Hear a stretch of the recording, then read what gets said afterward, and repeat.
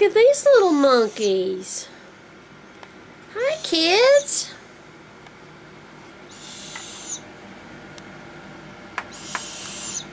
Snapping and popping away like that.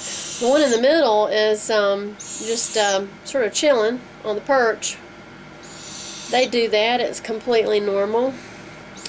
And I'm not even sure who came to me first now because they were um, sort of close to the same age when I put two siblings in with um, the one that I got from you know where. But anyway, they're doing really well. Good eaters. This is why we need mouse money. These little guys. This will be a long haul, uh, this uh, slow hack, or soft hack, what I call it. Um, I'll be releasing them probably about June. And um, so, uh, you know, the idea is for them not to bolt, for them to stay around the property because they're going to be used to feeding on a hack board whenever I put them in chambers.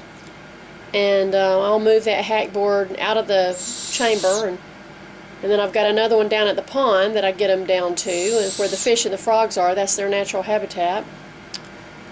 So, the idea is to provide food for them while they're learning and growing, since they don't have their parents to um, uh, teach them what to do or provide food. So, they're going to have to learn the ropes on their own. And uh, But at least uh, if they hang around, uh, they won't starve to death in the process. You little monkeys.